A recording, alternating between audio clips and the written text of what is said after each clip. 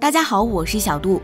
中国的崛起令世界措手不及，生活在其中的我们可能感受最深，但也会产生当局者迷的感觉，并不具体了解发展速度在世界处于什么水平。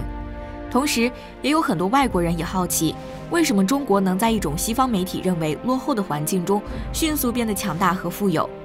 对此，英国 Dumas 智库创始人、剑桥大学博士马丁·雅克在经过长达二十年、每年来四次中国后，对中国有了新的评价，并且在 TED 中做出了总结演讲。一九九三年时，雅克第一次来到中国，作为英国人，他首先便考察了当地人的信仰。他发现中国人并不过分信仰外力，而是把团结印在骨子中。在上古时期，中国人共同信仰的是炎黄轩辕。蚩尤、九黎等等民族传说，而在之后，人们便自称炎黄子孙、黎民百姓。中国人的血脉就是人们最引以为傲的信仰。同样，血脉带来了团结的力量。马丁教授说道：“这样的民族思维方式，对于西方人来说是无法想象的事情。就拿面对洪水灾难来说，西方人首先想到的是祈求来自天上神明制造的诺亚方舟进行逃命，而面对同样的困境。”中国人却没有将自己的命运寄托于神明，因为中国人相信人定胜天，只要相信自己，团结起来渡过难关，解决危机。洪水来了，大家会团结起来划九州、疏河道，让狂妄的洪水最终也只得听从指挥。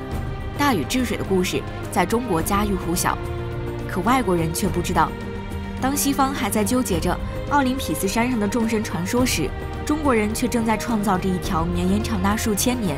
且行之数千年皆有效的文化道路，而在最后，马丁·雅克这样说：“中国古老而又年轻，有着光明的前途、远大的未来。”其实，正如马丁所说，我们始终相信团结的力量。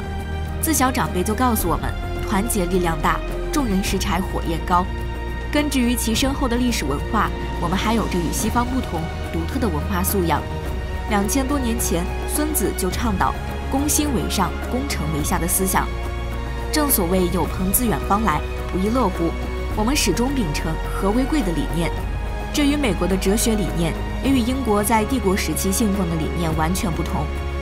而从经济角度，中国的发展速度也是肉眼可见。如果把1993年的马丁穿越到2019年的现在，他绝对不会相信这里是中国，因为这短短二十余年，中国变化可谓翻天覆地。从弄堂小巷到高楼大厦，新生事物层出不穷，而且中国的产品不仅仅覆盖了国内，更是跨越整个地球村，既能生产成衣、雨伞、圣诞节的装饰品等等日常小件，也可以把卫星发射到太空轨道上，可以帮别的国家建造最先进的高速铁路。华为的通讯设备、交换机绝对可以和世界上任何一个品牌相竞争。中国能够同时跨越资本密集、技术密集，又继续在劳力密集的层次。